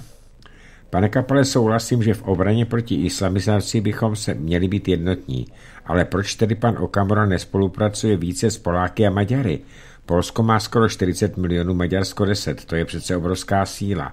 A navíc se obě země budou ztrátě své identity energicky bránit, o tom nepochybují. Stačí se k ním přidat a máme vyhráno. Ale Tomio pořád jen šilhá po Salviným Lepenové strach, strach, eh, strachemu, ale, i, ale jejich země už jsou dneska zaplavené migranty. Pro nás jsou daleko lepší partneři ve V4, té se musíme držet a nedovolit její rozdrobení ale z ní na vás Slováku nikdo nebyl a to je obrovská chyba. Zdraví Karel. Pane Karle, já, pane Vidláku, jestli dovolíte odpovědět. Ano, protože... určitě. Tak eh, jestli jste poslouchali Tomia v předešlém pořadu, ne v tom teďka posledním, tak on hovořil o tom, že zaprvé byl už několikrát v Maďarsku, kde hovořil s Orbánem, byl i v Polsku, kde hovořil s eh, představiteli polského parlamentu. A tady se jedná teď o to, že, takže se jim nevyhýbá. Například minule, teď když tady byl ve středu, tak hovořil o tom, že pravděpodobně Orbán a jeho Fidesz se při, při, přidají po volbách do Evropského parlamentu k té národ, nacionalistické národní frontě, což je teda vynikající zpráva. A e, jedná se i s Polákama, Matteo Salvini tam byl a jednal s Poláky, byl tam i Tomio. Takže on, jestli se teď uh, soustředuje na Marine Le Pen a na uh, Salviniho, tak je to proto, že jsou to vůdčí síly toho národního vlasteneckého hnutí v Evropě. Právě proto, že jsou ty jejich země tak zaplevelené těmi migranty. A mají teda ohromnou podporu. Ale neznamená to, že nejedná e, celá tato fronta, včetně Tomia Okamury, jak s Maďary, tak eh, s, tak s Poláky, ale nejenom to. On jedná i s vlasteneckou stranou, parlamentní stranou v Bulharsku a e, má pozvání na další, do dalších států, kde se etablují ty vlastenecké strany. Takže e, on stejně jako celá Národní fronta, těch, tak s těmito státy spolupracuje. S Poláky je to trochu obtížnější, ale to je na další diskuzi. Ale ani s těmi spolupráce vyloučená není. Takže to jenom, pane Karle, abyste se nemýlil, že SPD nejedná s těmito státy V4. Jedná. Tak. Další otázka, to už bude na vás. Dobrý večer, pánové. Poznámka k údajnému antisemitismu Petra Hampla v souvislosti s jeho zrušenou přednáškou Brně. Petr Hampl píše o Židech ve 21. kapitole. Píše o statistické tendenci Židů stát se příslušníky světové elity. Díky jejich průměrně vyššímu IQ a menšímu odhodlání bránit země diaspory, kde žijí, mají možnost ostěhovat se z nich do Izraele. Zároveň však Petr Hampl vylučuje existenci globálního židovského spiknutí. To je vše, co autor v prolomení hradeb o této etnicko-religiozní skupině psa píše. Nic antisemického v jeho knížce nenajdeme. Hezký večer, Vladimír Kostka. Pane Kostko, máte pravdu, já tu knihu znám, já jsem ji četl na, tady e, nahlas a jak známo, když se kniha čte nahlas, tak se vryje do paměti. E, takže mimo jiné v, v tom seznamu významných židů Adama, Adama Benjamina Bartoše z Národní demokracie se Petr Hampl objevuje jako žid. Ale on sám říká, že neví o tom, že by měl nějaké židovské předky. Pane eh, Vidláku, co vy na to říkáte? No, že ne, tam je prostě problém, že jako tam se míchají všechny věci dohromady, v podstatě stačí jenom Eh, to, to slovo někdy jakoby zmínit a už to může být problém. Proto je lepší se tomu vždycky v debatě vyhnout, protože to slouží vlastně je, to je evidentní. Eh, potom, když byla diskuze na Facebooku o té zrušené debatě, tak tam taky nějaký nějaký buď troll nebo, nebo blbec, nevím, kdo to byl, tak tam prostě říkal, jak je to dobře, že to do té knihovny nepatří a tak, ale on, on tu knižku ani nečetli, protože kdyby četli, tak to vůbec, to vůbec s antisemitismem nemá nic společného. Přesně tak. A navíc eh, sám Petr Hampel říká, že pořádá přednášky eh, právě se dvěmi rabíny, tak kdyby byl antisemita, tak by to nedělal. Já jsem byl v Pardubicích na jeho přednášce a tam vystupoval nějaký Izraelec a nějaký bezpečnostní expert a to byl jeho kamarád a jako tam, říkám, tam naopak, jakoby ten, ten vždycky, vždycky jakoby pro, pro izraelský, takže je to jako úplně, úplně zcestné zrovna jeho z toho obvinovat. Eh, také další SMS. Dobrý večer, co říkáte nové informaci o výsledcích vyšetřování chemického útoku ve východní Gute, Gutě, organizaci pro zákaz chemických zbraní, podle které bylo zcela vyloučeno, že by za útokem stáli Asadovi vojáci. Informovala nás o tom Teresa Spencerová a náš mainstream mlčí, píše Karel Rozehnal. Eh, já jenom, pane Karle Rozehnale, informovala o tom Teresa Spencerová a Sonja Zikmundová, která to četla ve svých zprávách taky. Takže pane Vidláku, co vy k tomu?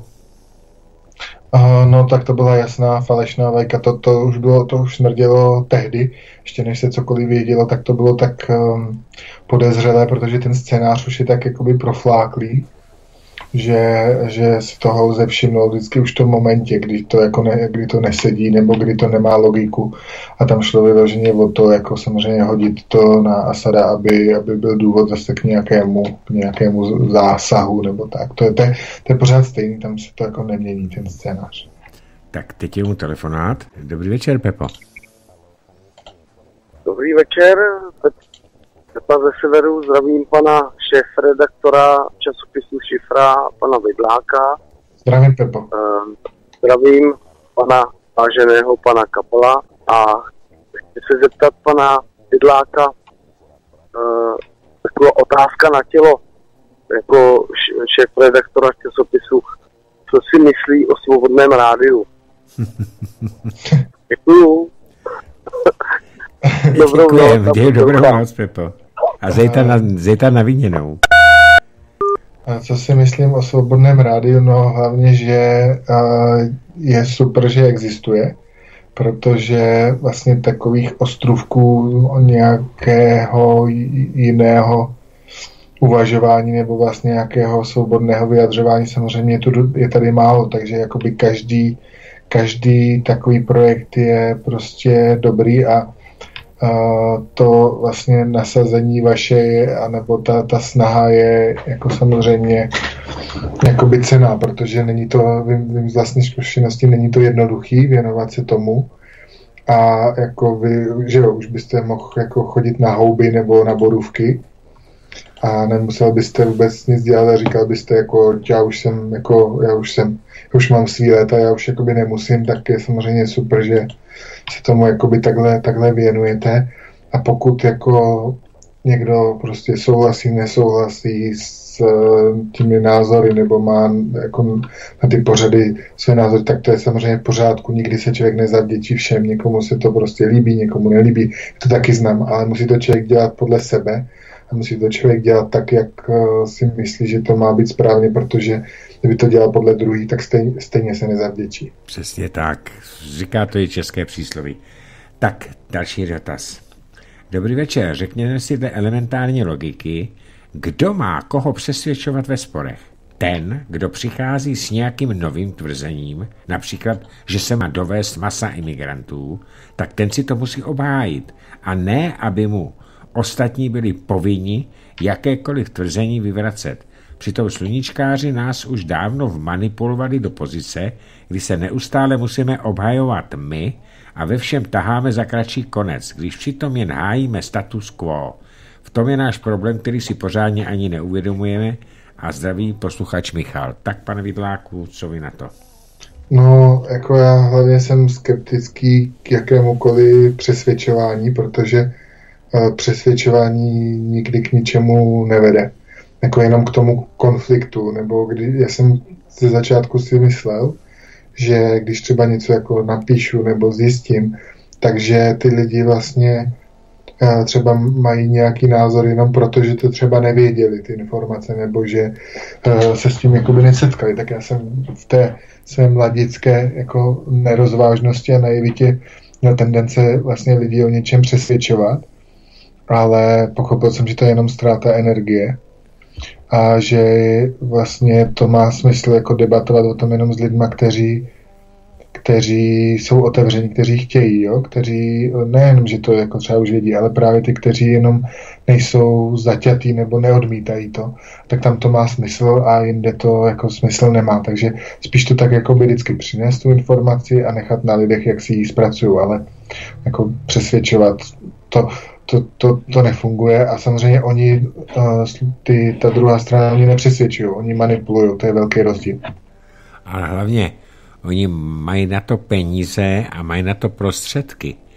Jo, no, pro... A mají, a, a na to jsou, jako, na to je tady spousta těch spolků a těch, nebo těch, těch organizací, vlastně na to je přímo jako založena. Oni mají vlastně eh, dělat tu propagandu. A mě vždycky pobaví, když se tady, eh, když oni tady honějí vlastně ty, ty domělé nějaké ruské agenty a tak. A nikdy ještě jsem neviděl jako někoho, že by prostě opravdu přines nějaký ruku a říkal, jo, ten je, tak, ten je takový, ten dostal tolik. A že, že, že jakoby to konečně se nějak jakoby potvrdilo, ale uh, fascinuje mě, jak vlastně oni na svých stránkách mají, že kolik se tisíc přispěl, jako tu britská ambasáda, tu americká ambasáda, nebo ten Vrábel, jak jste ho tady zmínil, ten, ten analytik, tak ten přímo je, má smlouvu s NATO. A takhle to jakoby a on jedou. Přiznal, tak, on no. přiznal v tom rozhovoru, když se ho ptal takáč, eh, kdo ho platí, tak on řekl vláda Spojených států a Velké Británie. No, a to je, a to je, to je, to je výborný, že vlastně jakoby tady uh, američtí agenti chytají nějaké jakoby jiné agenty a vlastně to tady vůbec jako, to se jakoby nestydí, oni se tím jakoby ještě, ještě chlubí, ale podle, ne, nebo když třeba vždycky v české televizi je nějaký host a on je z nějaké takovéhle obskurní organizace, tak oni ho tam vlastně uvádí, jako že to zatají. Oni řeknou prostě, to je tady šéf think tanku evropské, evropské hodnoty, ale nenapíšou tam, který je financován vládou Spojených států, protože pak by to dávalo smysl, pak by bylo jasný, že on tam prostě nasazuje na Rusko, protože je za to placený, ale není to prostě proto, že jako on si to jako nějaká nezávislá osoba myslí, že to je jeho názor. Ne, on je na to najatý. Takže tohle to tady vlastně jako by vůbec neřeší. Jenomže to by musel být přijatý zákon podobný zákonu FARA ve Spojených státech, A nebo to by podobný. tady půlka Prahy umřela hlady. No, ano, půlka. Ano, přesně tak. Eh, tady, eh, dobrý večer, pánové, co říkáte na kauzu ohledně zastupitelů města Brna střed? Mám na mysli jejich napojení na podnikatele iráckého původu, pana Sam, Samána El Talabiniho. Konečně chápu, proč Brno vždy podporovalo imigraci. Děkuji za odpověď a přeji pěkný víkend Eva z Moravy. Já vím, jenom já to o tom moc nevím. To jméno jsem někde četl. Vím, že tam bylo napojení nějaké finanční toky a tak dále, ale podrobnosti já k tomu nevím. Jestli pan Vidlák k tomu ví, já tomu a podrobnosti nevím. Taky, taky jako by bych do toho nezabíhal, nevím o tom tolik, ale jenom bych tady to asi glosoval, že uh, peníze jsou multikulturní. Ano, peníze jsou multikulturní, přesně tak. Neznají hranice. Eh, další dotaz. Dobrý večer, zdravím oba a chci pochválit vašeho hosta za časopis Šifra. Tajemství dlouhověkosti, krásné čtení a za to dík Zděnek, Zděnek z Pangráce. Děkuji Zdenkovi. Tak eh, pane Vidláku, zatím to jsou všechny SMSky, které jsem tady přečetl a máme ještě, eh, já nevím, sedm minut, takže já bych se zeptal sám na váš názor a ten, co říkáte na to, že Kateřina Konečná v pondělí bude dávat trestní oznámení na SPD za to, že eh, SPD tvrdí, že lže, že říká, že ona pod, hlasovala pro migrační zákon. Ale Eh, já jsem ten, eh, bylo to usnesení, eh, usnesení parlament, Evropského parlamentu z 26. března, kde se v bodě 23 hovoří o tom, že Evropská komise a Evropský parlament apelují na evropské členské státy, a to znamená, neapelují, oni jim to nařizují, že musí přijímat ty migranty právě z africké země, z Afriky, teda afrického původu, a že by to měli dělat všichni a zegalizovat je. Takže v podstatě, eh, on to tady četl včera, nebo ve středu, to tady četl Tomi Okamura doslova, kde to tam bylo napsané, já to tady mám taky někde, ale ty to nemůžu najít. A paní Konečná mu dává právě, eh, mu dává na něj kvůli tomu trestní oznámení, přitom opravdu proto zvedla ruku. Co vy na to říkáte? No, jako já úplně eh, jako nechápu tuhle tu módu těch trestních oznámení, jak těm všichni jako plejtvají energii, papír a, a zahlcují vlastně ty soudy, které už tak jako jsou pomalý. Přijde fakt jako hloupost kvůli ně, něco, že někdo něco řekne, furt se hned chtít jako soudit a, a to, to je jedna věc. A druhá věc je, já tady to mám, ten ty mm, výtah z těch, z těch kompaktů, z těch globálních a tam prostě, abych tam přečetl jenom vlastně jednu, jeden ten bod, který hovoří za vše. Uprchlíci a migranti mají oprávnění ke stejným univerzálním lidským právům a základním svobodám, které musí být vždy respektovány, chráněny a naplňovány, avšak migranti a uprchlíci jsou odlišné skupiny řízené rozdílnými právními rámci. To je jedna věc, ale pak tam hned dodávají. Tento globální kompakt se týká migrantů a představuje rámec spolupráce určující migraci ve všech jejich rozměrech. A globální kompakt představuje neprávní závazek, společný rámec, který staví na závazcích New Yorkské deklaraci pro uprchlíky a imigranty, se kterou členské státy souhlasily. A pak, když si přečtete tu New Yorkskou deklaraci, tak tam je úplně všechno uh, černé na bílém, co jako k čemu se vlastně ta Evropa zavázala. Globální pakty o migraci Česká republika odmítla. Globální pakt o uprchlících naopak přijala v New Yorku panem Petříčkem. Ale toto se jednalo o e, výnos Evropské unie, Evropské komise, která e, to se psala 24. března a 26. března e, to mm, projednával Evropský parlament. A tam se právě píše, eh, kromě jiného, že jsou v podstatě nadřazení ty, ty eh, afro, tam se píše jenom o afrických migrantech. Jo, to je tenhle to, že to ještě jakoby korunovali. Ano, přesně tak, je to ten bod 23, eh, kde v podstatě se u, všechny, kdo to souhlasili, zvedli pro to ruku, tak souhlasí s tím, že budou Evropa přijímat tyhle ty běžence nebo emigranty, imigranty a e, že to budou jakoby legalizovat. Já si to přesně nepamatuju, musel bych to najít, ale něco v tom smyslu to je. Takže takhle to bylo, takhle to bylo e, jasně řečeno. A to mi to tady četl, já jsem to taky četl, protože jsem to tady měl, jenomže ty tady nemám, takže si to nemůžu přečíst. A vysvětloval to e, paní Konečná i pan profesor Keller, který to podepsal, tím, že prý se to jednalo e, nezávazně a jenom o země západní Evropy.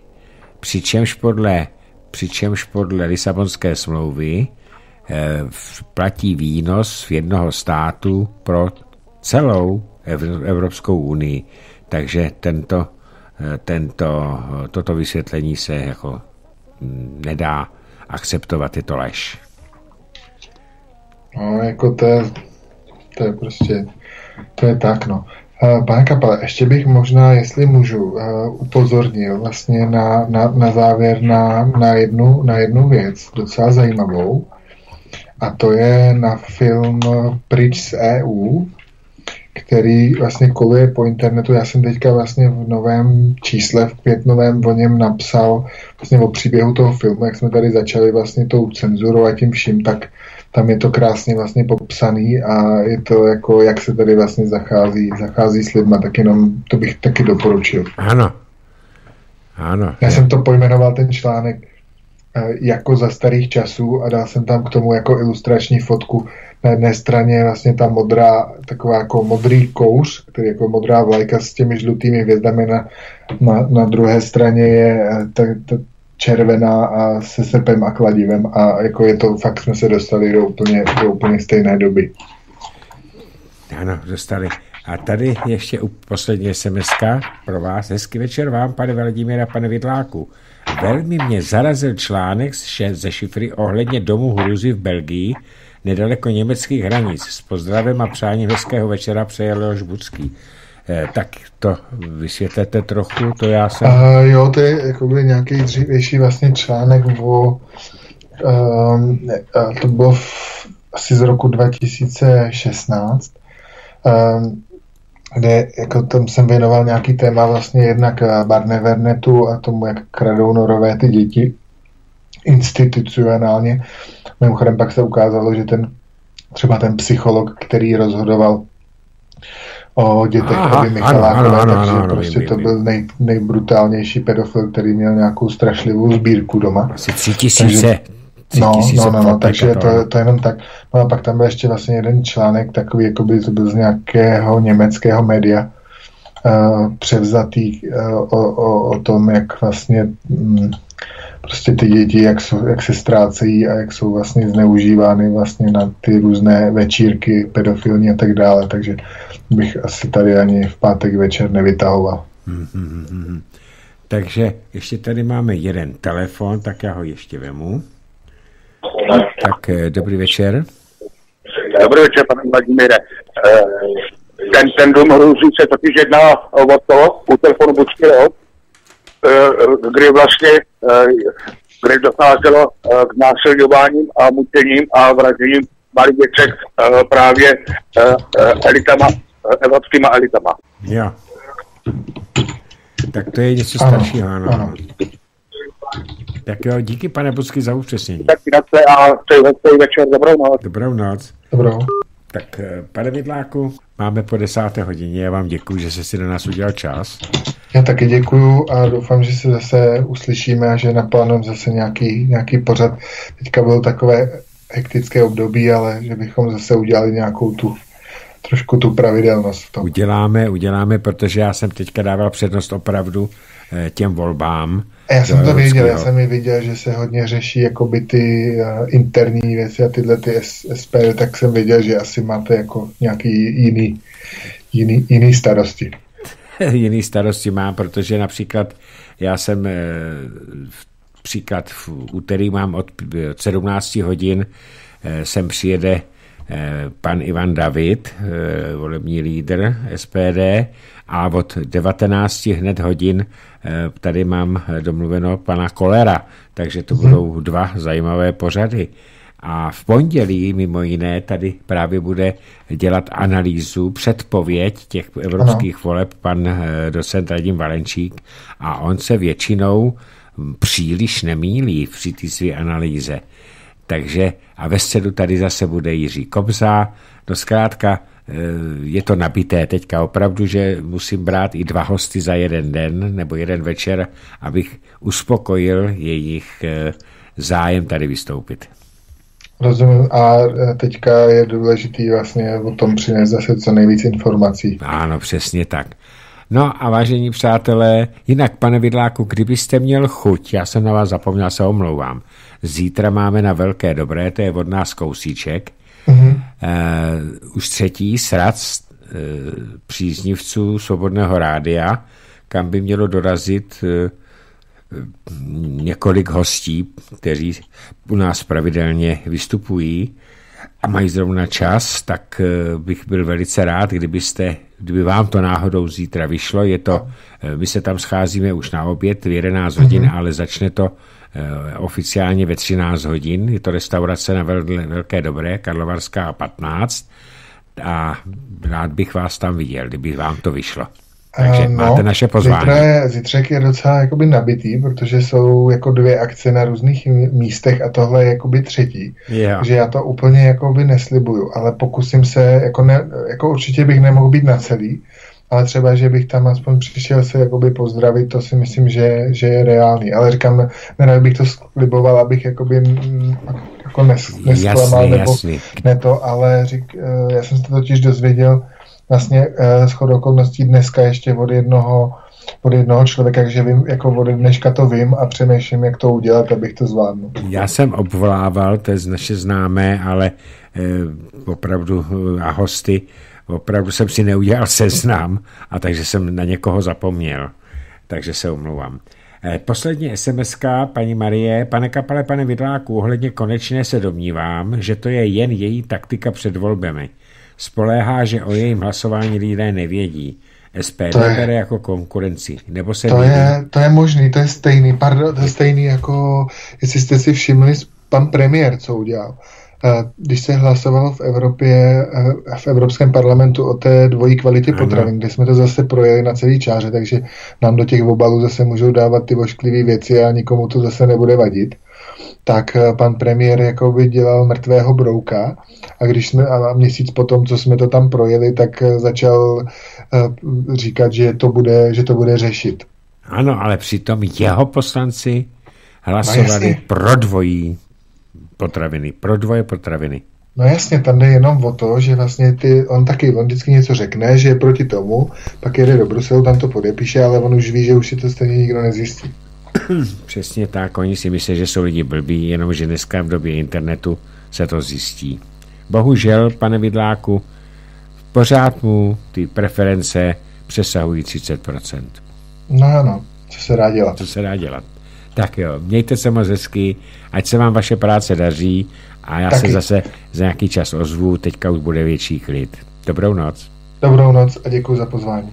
Tak vážení přátelé, to bylo dnešní povídání s panem Milanem Vidlákem a já teď předám eh, vysílání dalšímu studiu. Ze studia Beta se s vámi loučím a přeji vám dobrou noc.